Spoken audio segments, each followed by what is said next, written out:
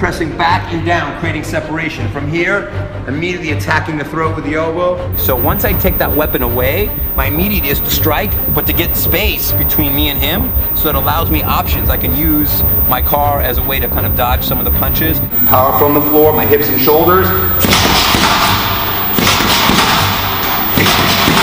Together, I'm using speed, making that exercise. Bring my elbow in nice and tight. That's gonna lock off this side.